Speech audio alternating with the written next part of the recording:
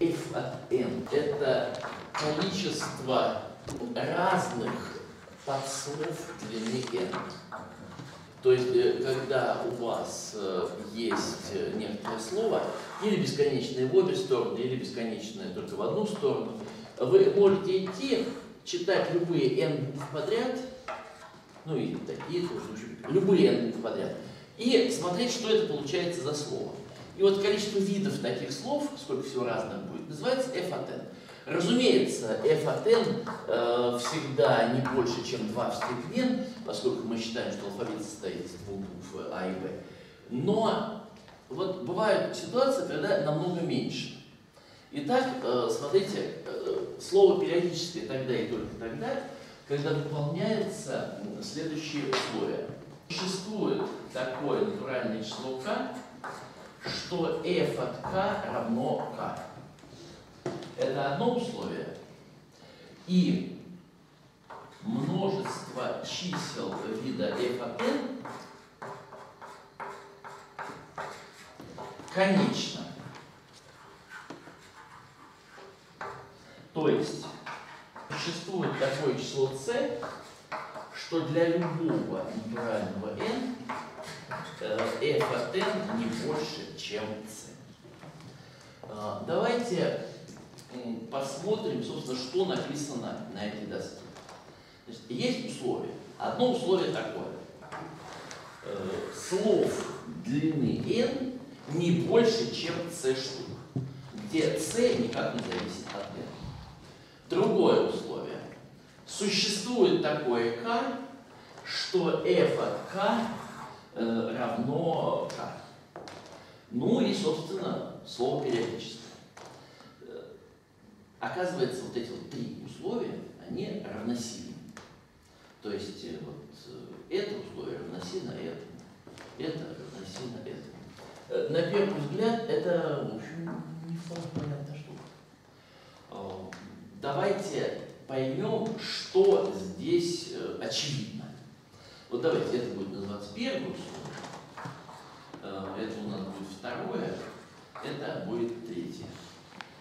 Очевидно ли вам, что из первого условия следует третье? На самом деле абсолютно очевидно. Потому что если у вас есть периодическое слово, представьте себе, идет какое-то периодическое слово ля-ля-ля, ля-ля-ля, ля-ля-ля, ля-ля-ля, ля-ля-ля, то, вот здесь оно периодичное в обе стороны, э, то вообще-то важно, когда вы отсчитываете n букв, э, в каком именно месте периода вы начали. Потому что если вы начали бы здесь, то это то же самое, можно сдвинуть, да? Э, правда, вы мне скажете, а вдруг слово было с предпериодом? Да, пожалуйста. Представьте себе, у вас есть какой-то предпериод, а потом идет период, период, период и так далее. То есть слово имеет такой вид, вот это предпериод У, и дальше период В, В, В и так далее. Э, если есть э, значит, слово с предпериодом У и период В, В, В, В и так далее, то начинать вот здесь или начинать здесь одно и то же. Поэтому на самом деле вариантов для того, в каком месте начинать, это всего лишь длина U плюс длина V максимум. Да? Вот. Если вы возьмете в качестве C вот такое число, э, то, собственно, все будет хорошо. Значит, если слово периодическое, то функция f ограничена. То есть может принимать только конечное множество значений. Замечательно. Теперь давайте поймем, почему из третьего условия следует второе. Это легко. Это тоже очень легко. Э, и давайте, давайте я сразу объясню. Вот посмотрим, чему равняется f от единицы. Как вы считаете, чему равняется f от единицы? Единица. Чего? Единица. Чего? Потому что слово это буква. А? Э, Слово одно только это одна буква. Там? У нас есть бесконечное слово, и нас интересует, сколько в нем подслов длины один. Ну, два. А, два. На самом деле, то ли один, то ли два. единица в таком э, случае, когда это просто одна и та же буква. А или Б, Б, Б, Б, Б. Вот. Во всех остальных случаях двойка. Да, причем, и, конечно, если это состоит из э, одной и той же буквы, то, конечно, у нас э, f от единицы равно единице, значит все хорошо. Значит, нас интересует случай, когда f от единицы равно 2. Замечательно. А теперь смотрите, будем э, рисовать картинку. Э, вот по одной если будем откладывать n, а по другой э, будем откладывать f от n. Да? В единице мы отложили двойку. Э, что будет потом? Чему будет равно f от 2? Ну, какое число, правильно? 3. Ну, кто его знает? Может быть, 3, может быть, сколько-то. Вот. f от 3. Но смотрите, мы сейчас считаем, что третье условие выполнено. Функция f какая? Ограниченная сверху. Значит, у нас есть такая вот граница, что все значения функции f не, не превосходят ее. Так? Отлично. А теперь рисуем график число n. Для единицы единицу, для двойки двойки, для тройки тройку. Вы понимаете, что это э, когда-нибудь выйдет э, выше, чем c? Когда-нибудь эта картинка выйдет выше, чем c. И вот тут-то и будет, смотрите, как э, ведет себя f, меня не очень интересует. Важно, что значение f, они как-то э, идут. Да, еще, э, все понимают, что функция f не убывающая. f от n не больше, чем f от n плюс 1. Потому что, смотрите, если вас интересуют слова длины n плюс 1, то вообще-то у каждого из них есть начало длины n. Понятно? И если разных начал у вас вот столько есть, то и слов длины n плюс 1 уж по крайней мере столько есть. Потому что начало это может быть обязательно там какой-то конкретной буквы и, э, значит, в качестве плюс первой, или оба варианта, это мы не знаем, но уж точно, что так. Поэтому у нас есть точки, которые начали вот отсюда, с точки значит, с координатами 1, 2, и все время идут не убывая. Это точки с целыми координатами. И у нас есть вот такая прямая. Вы понимаете, что рано или поздно у нас будет равенство. Как это доказать строго математически? Да очень просто. Рассматриваем э, такую функцию. f от n минус n. Давайте, это будет новая функция g от n. Тогда g от единицы это единица. g от c плюс 1 это f от c плюс 1 минус c минус 1. Это меньше нуля, потому что f от c плюс 1 не больше, чем c.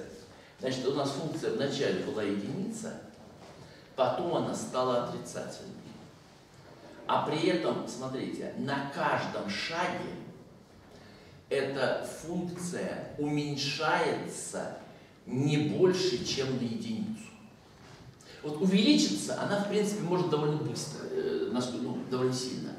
Э, а вот уменьшиться, уменьшается она за счет вот этого, за счет числа n. Уменьшается она максимум на единицу. То есть у вас есть такая штука, у вас есть величина, которая вначале равна единице, потом она могла увеличиться, потом на единичку каждый раз максимум уменьшается, могла опять увеличиться. Ребята, она уменьшается на единицу, не больше, а в конце она отрицательная. Значит, что будет? В какой-то момент она станет равна нулю. Это то, что называется теорема о промежуточном значении. Представьте себе, у вас есть банковский счет, на котором лежит целое число рублей, э, на которые могут в какой-то момент заплатить, вы не знаете сколько, ну там сколько-то, могут несколько раз заплатить. Но тратите вы каждый раз ровно по рублю. Вы понимаете? Вы, вам могут дать какую-то сумму, это означает, что функция f там сильно возросла. Но уж если тратите, то вы тратите э, не больше, чем рубль. Понимаете вы, что если в конце концов выяснилось, что вы ушли в долг, значит в какой-то момент был ровно ноль. Понятно? Вот и все. Вот и все. Значит, мы с вами доказали, что из третьего условия следует второе. Теперь начинается самая интересная часть. А именно, из второго давайте выведем первое. Так, э, я считаю, что все уже запомнили, да? f от n, количество разных подслов длины n, это я все могу стирать. Э, итак, э, давайте я запишу эту штуку. Доказательство тоже довольно короткое, но, вот честное слово, красивое. Просто действительно очень красивое, замечательное. И имеет смысл, имеет смысл посмотреть внимательно на, на во-первых, надо, чтобы все осознали, что мы вообще делаем. Мы с второго э, сейчас будем вводить первое. Понятно, что как только мы это сделаем, у нас получится, что первое, второе, третье – это одно и то же. Просто по кругу, да? Э, из первого следует, очевидно, третье, из третьего довольно просто, как мы сейчас увидели, следует второе. Э, сейчас из второго получим первое, и значит все, круг замкнется. Э, что же у нас есть? У нас известно, что существует такое число k, что f от k равно k. Вот. Нужно доказать, что слово является периодическим. Да, но если оно бесконечное в обе стороны, то что оно просто является чисто периодическим, а если оно бесконечное только в одну сторону, ну, значит, у него есть какой-то предпериод, а потом пошел период. Так вот, господа, давайте сделаем так возьмем не просто какое-нибудь число k, для которого вот это а рассмотрим наименьшее натуральное число k, для которого выполнено вот это. Итак, пишу. Рассмотрим наименьшее такое k. Ну, давайте посмотрим. Э, скажем, в начале у нас как было? Э, вы помните, э, f от единицы, если равнялось единице, то это означало, что у нас просто слово из одной и той же буквы. Или ААА, или БББ, э, ну и тогда оно очевидно периодическое, поэтому это неинтересно.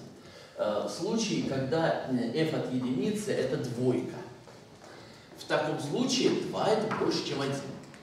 И значит, в качестве k мы берем какое-то побольшее число. Да? Вот. Итак, рассмотрим наименьшее такое k, что f от k равняется k. В таком случае, смотрите, f от k минус 1 у нас будет больше, чем k минус 1. Согласны? И оказывается, что эта задача решается при помощи графа, при помощи картинки. Очень простой. Как только я объясню, что это картинка, вы сразу все поймете. Вершины графа это будут все подслова длины k минус 1. Ребра это будут все подслова э, длины k. Давайте сейчас аккуратно это запишем. Итак, вершины. Это подслова, которые в нашем бесконечном слове бывают, э, длины k минус 1. Ребра. Э,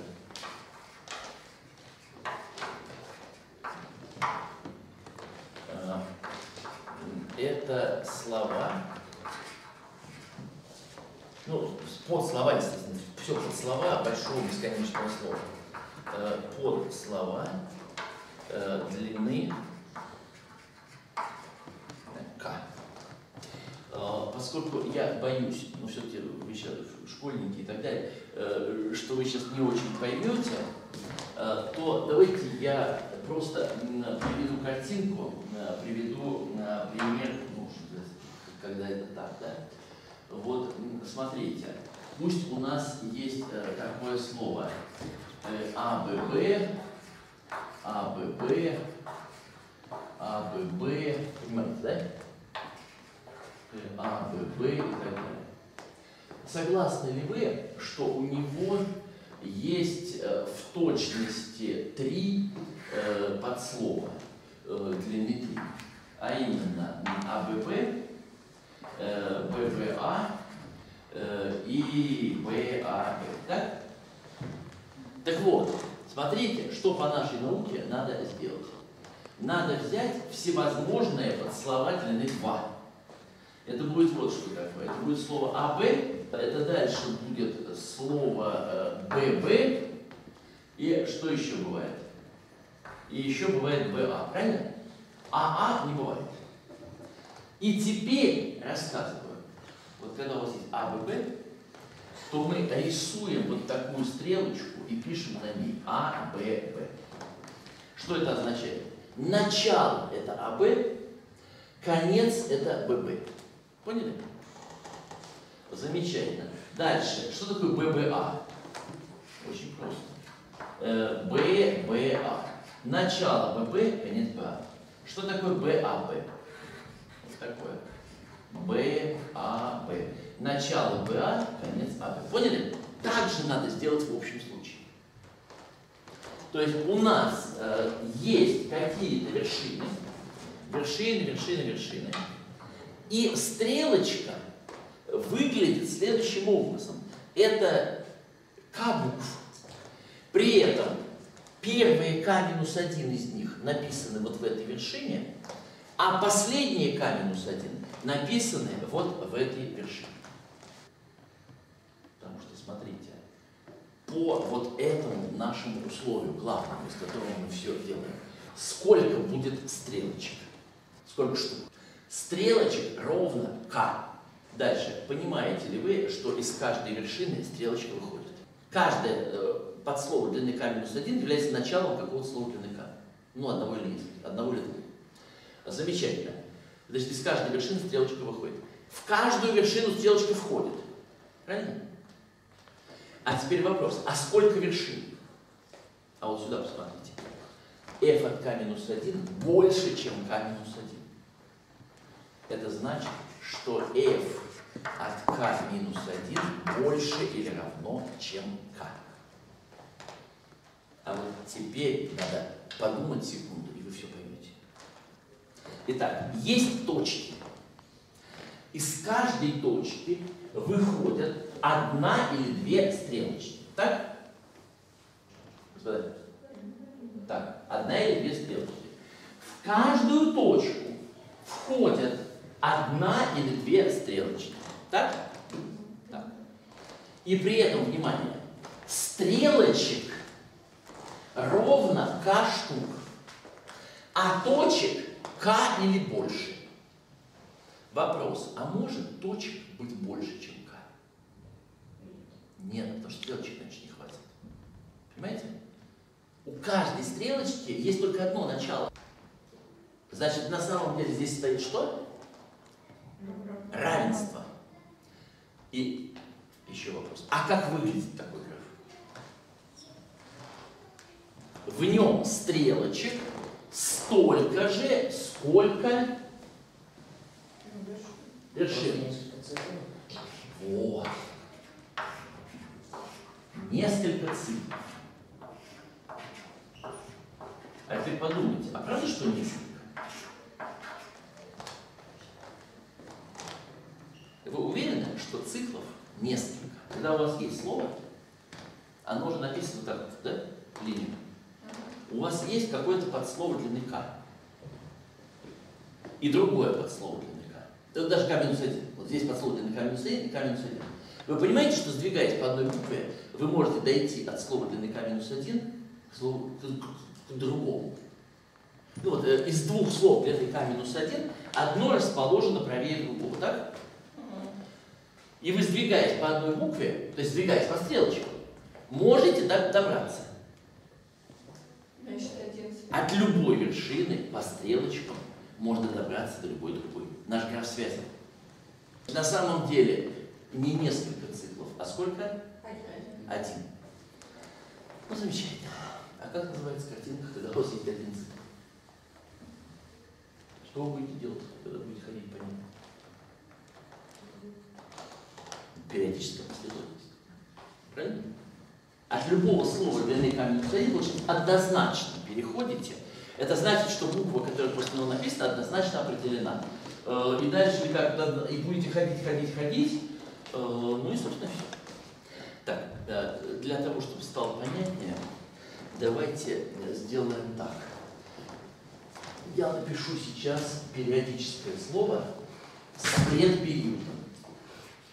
А, А, А, Б, А, Б, э, нет, сейчас опять, э, Б, А, Б, Б, А, Б. И так далее. То есть Б, А, Б это уже период, да? Э, вот, Б, А, Б это период, а вот это предпериод. Просьба сделать такую штуку, составить табличку, э, здесь n, здесь f от n. Ну, смотрите, n равно единице, f от n это двойка, согласны? Э, n равно двум, сколько есть слов длины 2? АА, АБ, БА, ББ. Сколько? 4. Замечательно. n равно 3. Их сколько? Ну, давайте все есть. Нет, сейчас. ААА, спокойно. АА есть? А АБ тоже еще. Э, ААБ есть. АБА. Сейчас, сейчас, сейчас. АБА есть. Э, Б. АББ есть. АББ есть. АББ тоже есть. Так, дальше. Это вы на букву А, все четыре бывают. Э, на букву Б. Б, Б, Э, так, э, БАА бывает? Нет. Не бывает.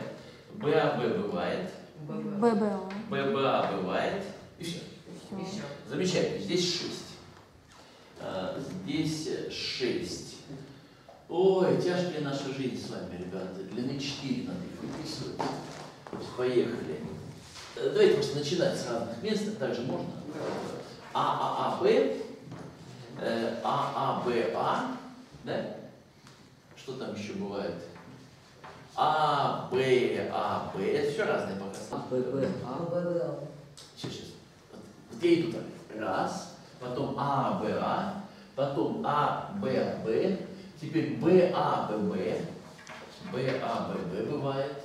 И теперь А, Б, Б, А. Это тоже еще не было. А, Б, Б, А, да? Э, И Б, Б, А, Б. Тоже еще не было. Э, Б, Б, А, Б. И Б, а вот тоже было. Б, А, Б, Б было. Замечательно. Сколько здесь штук? Шесть. Ну вот, э, догадайтесь, что будет дальше. А, можно вопрос? Да. У нас это когда-нибудь закончится тоже ААА или у нас один раз это было? Не, один раз, я сказал, слово с предпериодом. То есть оно не в обе стороны бесконечное, а вот здесь у него начало. И Туда идет. Так, э, господа, теперь давайте смотреть, э, понимаете ли вы, что дальше будет тоже 6? Да, да. Ну просто с периодичностью, да? Э, Здесь будет 6, и дальше что будет? Шесть. 6. Хорошо. Э, Шесть. Э, Так. И теперь давайте разбираться. Какие бывают э, подслова, они бывают вот какие. А, А, а, так, они длины 5 должны быть, да? А, А, А, Б, А. Так, дальше что? Что? А,